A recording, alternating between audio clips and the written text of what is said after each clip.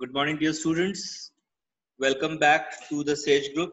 I am Dr. Sukhwant Singh, Professor SIRTS Pharmacy. Currently, we are talking about a topic in the seven semesters of Bachelor's of Pharmacy. The subject is Instrumental Methods of Analysis. And currently, we are discussing infrared spectroscopy. Dear students, in my previous class, I have exposed you and I, we have already discussed about the basics of spectroscopy.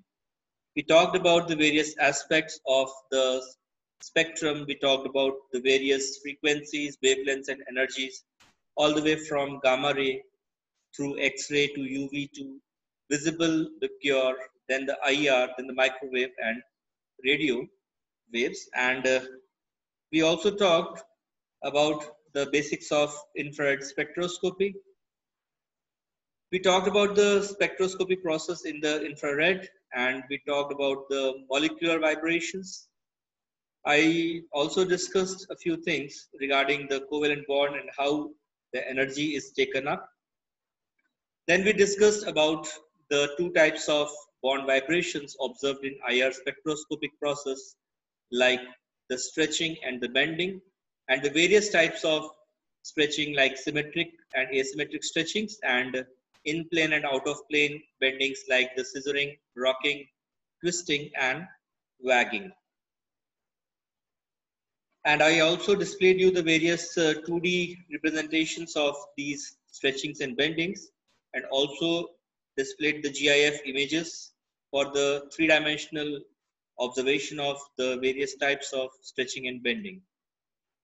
Then we also talked about the various uh, uh, the mechanism how this uh, bending and stretching occurs in a covalent bond and how the phenomenon of absorption takes place in case of uh, an IR spectroscopic process and we talked about how the matter interacts with the electromagnetic radiation and how we get a coupled wave. Then uh, we went on to talk about the various aspects of the IR spectrum that is observed. We talked about transmittance, we talked about the representation of the data, we talked about the representation of data in terms of the values on x-axis and y-axis. We talked about why we are using wave numbers instead of wavelengths or energies on the spectrum graph and uh, why it is better to understand or represent the data in terms of wave numbers because it gives us a real-time uh, understanding of the data. And similarly, I also talked about the various intensities that we observed on the IR spectrum, namely the strong peaks, the mediums, the wave peak, the weak peaks, and also the broad peaks we had already discussed. Now today I'm going to talk about the typical IR spectrums that are observed for some organic molecules and then when uh, I will go on to talk about the instrumentation of IR spectroscopy, uh, IR spectroscope, and I'll talk about the cardinal points or the cardinal components of the IR spectroscopy. So now let me start with the typical IR spectrum of some organic molecules, which you can observe here. I've shown three types of uh, spectrum. The first one belongs to hexane, the second belongs to hexene, and the third belongs to hexyne. Needless to say that hexane is a saturated uh, comp compound, that is, all the bonds that we have in hexane are single bonds, whereas in hexene we have a double bond, and in hexyne we have a triple bond also. So if you observe the bonds of hexane, hexene, and hexyne, there are a few important things that we go on to observe. Like for example, we are having a specific location of this particular bond, which is present in all the three components. But this component of the bond or the spectrum is going on changing and it is changing its structure as well as its location on the spectrum.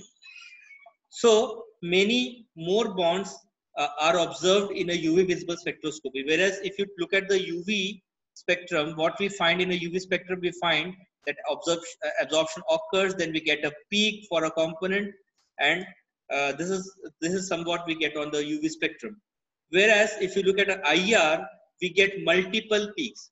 So we get many more bonds as compared to UV visible, as compared to fluorescence or as compared to phosphorescence in IR. The bands are also much sharper as compared to other spectroscopy patterns, other spectroscopies. The patterns in distinct uh, pattern is distinct for a given molecule except for optical isomer, meaning that one type of compound will always exhibit the same type of spec, uh, same type of spectrum except for the optical isomers. Then IR spectrum is a very good qualitative tool. It can be used for compound and identification as well as group analysis As well as it is also a quantitative tool to some extent because the intensity of bands is related to amount of the compound that is present in uh, the sample. And finally, the spectra usually show as percentage transmittance instead of absorbance versus wave number instead of wavelength for convenience. यानी कि यहाँ पे जो spectrum हम represent करते हैं it is shown on the one axis we get percentage of transmittance जहाँ पे हम यूवी या फिर फ्लोरेसेंस uh, या फॉस्फोरेसेंस में एब्जॉर्प्शन नापते हैं या एमिशन नापते हैं आईआर में हम ट्रांसमिटेंस नापते हैं। यानी कि किसी सैंपल के साथ यदि आप उसको रेडिएशन दो तो उसके साथ तीन चीज़ें हो सकती हैं। या तो उसका एब्जॉर्प्शन हो जाएगा वेवलेंथ का या तो वेवलेंथ उसके अंदर से एमिट होगी या फिर इन दोनों का माइनस उसके अंदर से कितना पार हो जाएगा, कितना उसके अंदर से ट्रांसमिट हो जाएगा।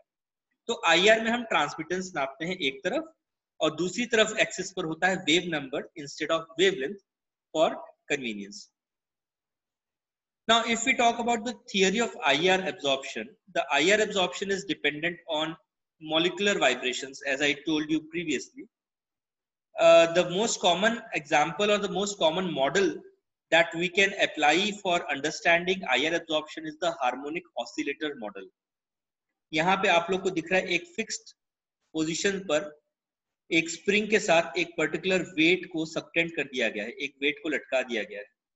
तो जब इस पे वेट लटकाया जाएगा और इसको जब एनर्जी दी जाएगी तो ये जो स्प्रिंग है, इसके अंदर डिस्प्लेसमेंट आएगा।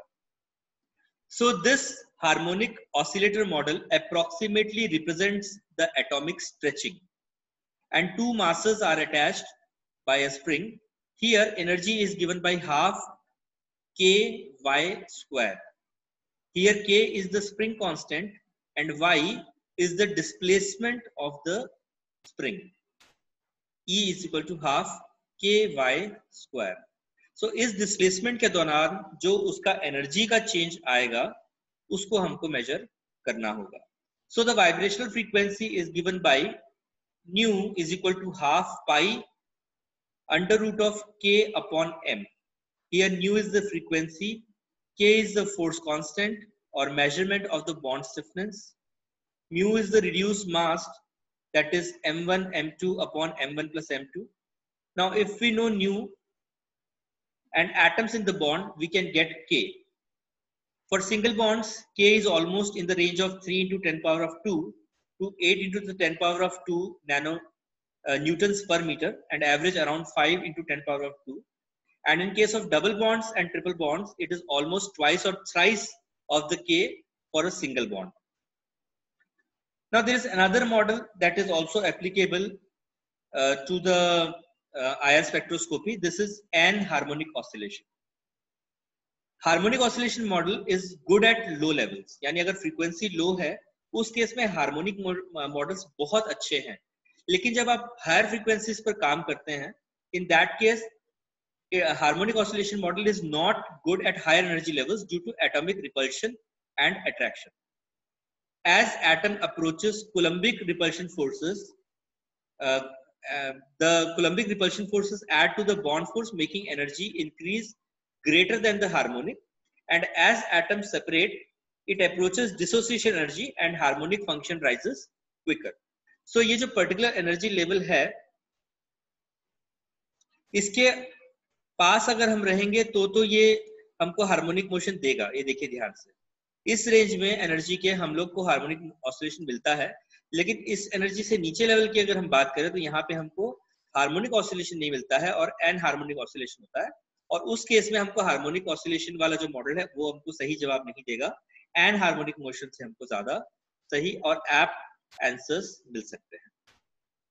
So this is about the theory of IR spectroscopy now let us talk about the instrumentation of a typical IR spectroscope see when i when i talk about the basic design instrument leave instrument, leave apart this ir consider हम लोग ने जब UV की बात करी थी when we talk about fluorescence मैंने बोला था, कुछ ऐसी बेसिक चीज़ें हैं जो लगभग हर इंस्ट्रूमेंट में होती ही है। So if you talk about the basic instrument design it is almost similar to normal a normal IR instrument is almost similar to a UV visible spectrophotometer but the main difference is between of course the source of light and detector जहाँ पे UV spectroscope में हमारे पास source of light में UV और visible होते हैं तो डेफिनेटली आईआर में हमको ये होंगे आईआर स्पेक्ट्रोस्कोप्स अब मैं आप, अभी आप इंस्ट्रूमेंट्स की तरफ़ ध्यान न दें। अब मैं आपको एक बहुत इंपॉर्टेंट बात समझाता हूँ। थोड़ा कान खोल के सुन ले। जो लोग आए हैं, वो लोग इसको ज़िंदगी भर याद रखेंगे। ऐसा मुझे पूरी उम्मीद है, क्योंकि मैं उस तरीके से आपको बताऊँगा ही। पर जिन लोगों ने ये क्लास मिस करी है, उनको बहुत बड़ा नुकसान होने जा रहा है अब। ध्यान से देखिए बेटा। आप लोग ने घर में सबने एलपीजी का बर्नर देखा है। तो एलपीजी का बर्नर अगर आपने ध्यान से देखा जब हम उसके अंदर सिलेंडर के अंदर गैस पूरी तरह भरी होती है when gas is totally filled in the cylinder and there is high pressure of uh, LPG उस समय पे जो फ्लेम का कलर होता है it is closer to the blue colour agreed it is closer to the blue colour and as and when जैसे जैसे gas का प्रेशर कम होता जाता है ये जो ब्लू कलर है ये ब्लू से थोड़ा ग्रीनिश होता है ग्रीनिश से फिर धीरे से ये ऑरेंजिश हो जाता है येलोइश हो जाता है और लास्ट में फिर जब पूरी तरह गैस खत्म हो जाती है तो बुझने से पहले हल्का सा लाल रंग जलता है और फिर ये बुझ जाता है। ये आप लोग को ध्यान रहेगा। अब इसको ध्यान से आप लोग ऑब्ज़र्व करिए। मैंने अभी जो, जो बात मैंने अभी बोली है इसको आप ध्यान से देखिए। जब आप ताज़ा ताज़ा सिलेंडर चालू करते हैं तो उसकी फ्लेम होती है ब्लू जब उसके अंदर बहुत ज़्यादा एनर्जी है उसका कलर होता है ब्लू ठीक है ना? फिर जब हल्का सा थोड़ा सा उसके अंदर प्रेशर कम हो जाता है तो हल्की सी ग्रीनिश कलर में जलती है। ओके उसके बाद जब और थोड़ा उसके अंदर प्रेशर कम होता है, जब काफ़ी कम हो जाता है तो वो हल्की सी येलोइश जलती है। लास्टली वो ऑरेंजिश जलती है, और उसके बाद फिर वो सिलेंडर जब खत्म हो जाता है तो वो बुझ जाती है। देखिए ध्यान से। ये किस स्पेक्ट्रम का पार्ट है? ये स्पेक्ट्रम का पार्ट है violet indigo blue green yellow orange और लास्टली रेड देखिए, ये एनर्जी धीरे धीरे कम हो रही है। दिख रहा है आपको? ये धीरे धीरे एनर्जी कम हो रही है। तो डेफिनेटली यदि मैं इस वॉयलेट से ज़्यादा एनर्जी दूँगा तो मुझे क्या मिलेगा? इस वॉयलेट से ज़्यादा यदि मैं एनर्जी दे दूँगा तो डेफिनेटली मुझे अल्ट्रा वॉयलेट लाइट होगी जो कि मुझे दिखाई नहीं देगी। अब आपको सबसे इंपॉर्टेंट बात बताता जब ये बर्नर येलो या ऑरेंज या रेड तक आ जाता है बर्नर और आग बुझ जाती है। तो इसके नीचे भी अगर आप बर्नर के ऊपर हाथ रखें तो आपको हल्का सा ताप लगता है। हल्की सी हीट हमारे हाथ पे महसूस होती है। ये याद रखिएगा, ये रेड से नीचे है, इसलिए ये जो ताप आपको महसूस हो रहा है, ये और कुछ नहीं है, ये आईआर है। यही आईआर रेडिएशन है, जो आपको दिख नहीं रही। क्यों नहीं दिख रही? क्योंकि आपका विजिबल रेंज तो विपग्योर है, और विपग्योर के अलावा जो भी है, या तो वो अल्ट्रा वायलेट है या वो इंफ्रारेड है या उनके आगे की बॉडी दोबारा से ध्यान दीजिए, मैं आपको फिर से एग्ज़ाम्पल बताता हूँ। आप एक लोहे का छड़ ले लें, लोहे की टुकड़ा, लोहे का टुकड़ा ले लें, या तवा ले लीजिए फॉर एग्ज़ाम्पल जब आप उस तवे को गैस पे रखते हैं तो वो तवा पहले ताप देना शुरू करता है। ठीक है? ताप दे रहा है ना, जिस समय वो तवा ताप दे रहा है, उस समय उसके, आपके हाथ पे जो रेडिएशन पड़ रही है, वही आईआर है। ओके वही आई है। अब फ़र्ज़ करिए आप उस तवे के नीचे का ताप तेज कर दे। You go on increasing the temperature of that iron plate what will happen वो आयरन प्लेट धीरे से पहले रेड होगी। रेड होने के बाद वो हल्का जब और ज़्यादा टेम्परेचर बढ़ जाएगा तो उस, उसका टेम्परेचर उसको ऑरेंज की तरफ़ पुश करेगा उसका कलर और ज़्यादा आप उसको हीट कर देंगे तो अब ये जो आयरन है ये येलोइश कलर का हो जाएगा। और ऑफकोर्स उसके बाद ये पिघल जाता है। सोने का कलर का होने के बाद ये जो लोहा है, ये पिघलना स्टार्ट हो जाएगा। क्योंकि इसकी हीट जो है, अब उसको मेल्टिंग की तरफ़ ले गई है। लेकिन फ़र्ज़ करिए कोई ऐसा एलिमेंट हो, जो कि नहीं पिघलता है तो यदि आप उसको हीट करेंगे तो डेफिनेटली वो पहले रेड होगा हीट होने के बाद फिर ऑरेंज होगा, फिर येलो होगा then it will turn green then it will turn blue then it will turn indigo this will happen. Of course, we cannot observe it in case of iron, because iron melts after yellow. but if there is a material which does not decompose at this heat then definitely it will change its color from uh, in this similar fashion up to violet and it will start emitting ultraviolet light after it is heated there coming back to the topic so ultimately when the metal is not having any color but still emitting heat energy then the radiation that we can perceive is nothing but infrared ये अब आप लोग जिंदगी भर याद रखिएगा कि IR का सोर्स कैसा होगा so now let us talk about the basic design of infrared spectroscopy. So it is similar to uv visible but the main difference is between the light source and the detector. So it is having a, a source of light from where we are getting light and it is from various gratings and through beam splitters the radiation pass passes up to the uh, amplifiers and finally it reaches the recording device here we can observe this is the line diagram this is the diagram line diagram of this uh, instrument. This is the source from where the light is coming. It is split into two parts. One passes to the reference another passes to the sample. Then it is attenuated and sent through the chopper into the monochromator. It goes into the monochromator. From here it is sent into the preamplifier.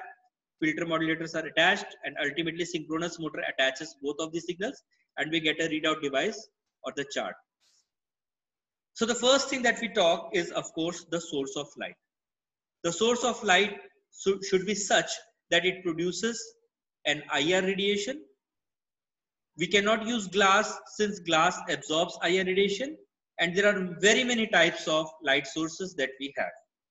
The first and the most important type of uh, IR radiation source is the Nernst Glower. Nernst Glower, Nernst is name of the scientist or Glower matlab chamakne wala. So it is made up of the, the, the emitter of the Nernst Glower is made up of rare earth metal oxides like zirconium, cerium and thorium. And these are heated electric, uh, electrically by applying current across its ends.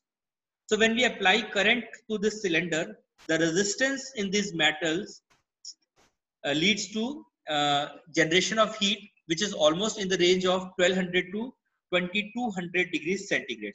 Remember, these are rare metal oxides and therefore they are having high resistance.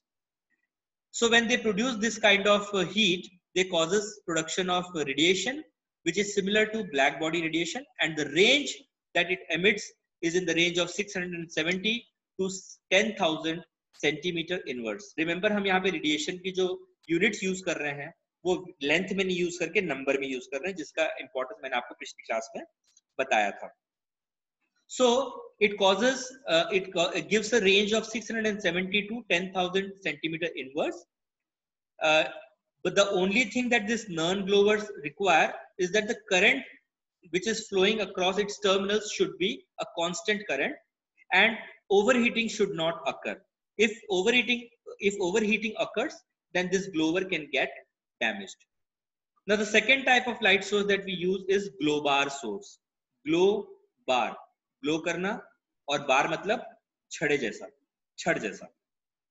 So it is similar to Nernst glower, but instead of using rare metal oxides like zirconium, cerium or thorium, it uses silica, silicon carbide rod it is also use, uh, usable in the similar range and it is it's used it, uh, using it also similar you have to develop a high potential across its terminal and it will start emitting uh, IR sources. Then the third type is incandescent wire source. It is a tightly wound nichrome or rhodium wire that is electrically heated. Same principle as Nernst Glower, but it produces lower intensity than Nernst Glower or Globar source, but it is having a longer lifetime jaldi kharab nahi hota the other ones uh, this is also a newer type this is carbon dioxide laser carbon dioxide laser gas mixture consists of 70% helium 15% carbon dioxide and 15% of nitrogen. A voltage is placed across the gas exciting nitrogen to lowest vibrational levels. The excited nitrogen populate the asymmetric vibrational states in the carbon dioxide through collisions and infrared output of the laser is the result of transition between rotational states of the carbon dioxide molecule of the first asymmetric vibrational mode to rotational states of both the first symmetric stretch mode and second bending mode. It gives off a band of almost 100 centimeter inverse in the range of 900 to 1100 centimeter inwards. It is a small range, but can choose which band is used and many compounds have IR absorbances in this region. यानी इसका region तो काफ़ी छोटा है लेकिन ज़्यादातर जो organic compounds हैं उनके fingerprinting region इसी की wavelength में lie करते हैं Therefore, it is used as a very important source and it is having much more intensities than the black body sources like incandescent wires or the Nernst Glower or the Globar source. The other sources that are used in this case are mercury arcs or tungsten lamp which are working in the range of 4000 to uh, 12800 centimeter inverse in the near IR range. Now let us talk about the detectors. There are two main types of IR instruments. The first one is uh, thermal detector uh, the first type of thermal detector that we use is thermocouple. Thermocouple मतलब दो metal का couple जब हम use करते हैं, it is called as a thermocouple. So two pieces of dissimilar metals is fused together at the ends. When heated, the metal heats at different rates. And when these are heated at different rates, because we are using different metals, therefore a potential difference is created between these two metals that varies with the with their difference in the temperature जब इनको heat करेंगे metal sheets को तो ये अलग अलग heats produce करेंगे and as a result चूँकि इनका टेम्परेचर अलग अलग होगा तो फिजिक्स के प्रिंसिपल के हिसाब से इनके अंदर एक पोटेंशियल डिफरेंस डेवलप होगा और ये पोटेंशियल डिफरेंस होगा ये वेरी करेगा इनके टेम्परेचर के साथ It is usually made with the blackened surface to improve heat absorption and placed in evacuated tube with transparent windows which are transparent to I R यानी कि हमको ग्लास या क्वार्ट्स यूज नहीं करना है when IR hits this source, uh, this uh, detector, it hits one of the two wires and uh, it causes a uh, development of a potential difference. We can use several types of thermocouples to increase the sensitivity of the device. Now the next one is bolometer. Bolometer consists of a strips of metals which can be either platinum or uh, nickel or semiconductor that has a large change in resistance to current with temperature. ऐसा metal हमको use करना है जो कि जरा से temperature से बहुत ज़्यादा पोटेंशियल डिफरेंस पैदा करता हो आपने जरा सा टेम्परेचर बढ़ाया और उसने बहुत सारा पोटेंशियल पैदा किया फिर आपने जरा सा टेम्परेचर बढ़ाया तो उसने और बहुत सारा पोटेंशियल पैदा कर यानी हमको यहाँ पे हीट ही तो मेजर करनी है अभी आपको मैंने बताया तवा जिस जो गर्मी छोड़ रहा है हमको वो गर्मी ही ट्रांसमिटेड गर्मी को ही मेजर करना है as light is absorb by the blackened surface resistance increases and current decreases these type of bolometers are very very sensitive now the other type of instrument that we have other type of detector that we have is photoconducting detector it consists of a thin film of semiconductor example pbs lead sulfide on a conducting glass surface and a sealed and these are sealed in a vacuum absorption of light by semiconductor moves from non-conducting to conducting state. Therefore, decrease in resistance will occur with increase in current. जैसे जैसे resistance घटता जाएगा, of course इसका जो current है वो बहना तेज हो जाएगा. More current will be observed. The working range of this uh, instrument is all the way from 10,000 up to 333 centimeter inverse at room temperature. Then we also have pyroelectric detectors. Pyro मतलब होता है आग electric मतलब होता है of course electricity so pyroelectric material is something which is made up from cerium uh, ceramic and lithium tantalate and these get polarized that is we get two different poles when these are uh, uh, in the these are present in form of electric field and this electric field uh, or polarization is temperature dependent यानी जैसे से temperature बढ़ेगा इसकी polarisation भी change होगी so major we measure the degree of polarisation which is related to the temperature of crystal. It has got a very fast response and these type of pyroelectric detectors are used in case of FTIRs. The other components that we have are sample cell. So these sample cells are should be transparent to the IR So it is made from IR transparent material like potassium bromide, KBr, or the pellets of NaCl. So KBr or NaCl pellets are used. These work as the sample holders. The samples that we, we can use in IR can either be solid or a liquid or even gaseous sample can be evaluated with help of IR. यानी दो के बीच में हमको उस दो के B are के lenses के बीच में हमको अपने मटेरियल को रखना है इसके बारे में मैं और ज़्यादा डिटेल में आपको नेक्स्ट क्लास में बताऊँगा। Then we have monochromators monochromators जैसे आपके यूवी में होते हैं, जैसे आपके आईआर में होते हैं, बिल्कुल सिमिलर प्रकार के मोनोक्रोमेटर्स यहाँ पे भी होते हैं। Usually we use reflective grating but we can not use glass prism of course because it also absorbs IR यानी हमको जो भी मटेरियल जिस भी स्पेक्ट्रोस्कोपी में यूज़ करना है, हमें बस ये ध्यान रखना है कि उस सोर्स ऑफ़ लाइट के साथ हमारे मटेरियल का कोई इंटरेक्शन नहीं होना चाहिए। तो हम यहाँ पे मोनोक्रोमेटर्स यूज़ कर सकते हैं। So this is the overall instrument design इसके बारे में I will tell more about it in in my further classes let us just discuss the primary instrumental design so we will need a chopper to discriminate the source of light from background IR radiation. यानी आपका जो background IR radiation है, उसको बचे हुए source से अलग करके प्योर आई आर रेडिएशन को हमको निकालना है। सो so, चॉपर क्या करेगा? आपका प्योर आई आर रेडिएशन को आपके सैंपल के ऊपर डालने में मदद करेगा। What is monochromator after sample why do need monochromator after sample it is not done in UV since letting in all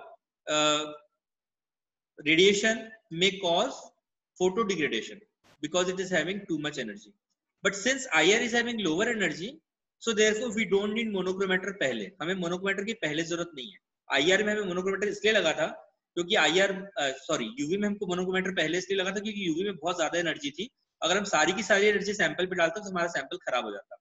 IR low energy का है इसलिए हम आईआर को, सारे के सारे आईआर को हम सैंपल पे गिनने दे सकते हैं। So the advantage is that allows monochromator to be used to screen out more background IR lights. But there are certain problems related to it.